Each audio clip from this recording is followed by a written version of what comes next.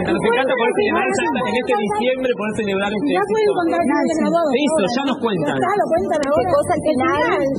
Bueno, al final un poco no voy a contar obviamente, pero va a remitir un poco al primer capítulo. Vamos a... ¿No? Se hacen nuevas pruebas de ADN. No, no,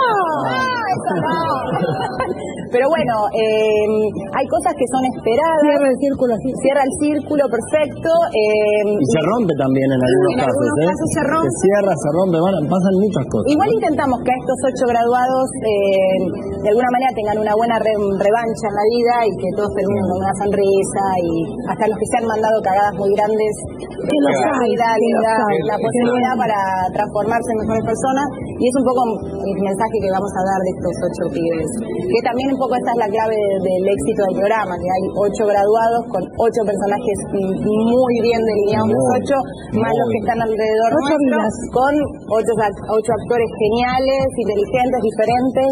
Así que eso implica que energéticamente todo estemos contento y bueno, vaya. Y sienten como esa cosa ya de... de ay, un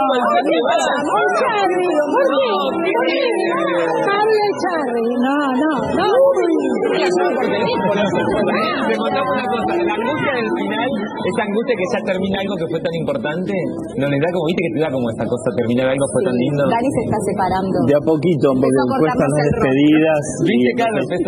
No, no, no. Alejarse, No, no, no, no. No, no, al revés. Hubo un momento en el que justamente eh, yo sentí que estaba empezando a despedirme, a alejarme un poquito, para no, viste, por el tema de, de que me cuestan las despedidas, y no, no queda otra que meterse hasta el final, aunque bueno, aunque después obviamente va a ser un. Sí, bueno, diremos, pero nos deja un buen sabor. Bueno,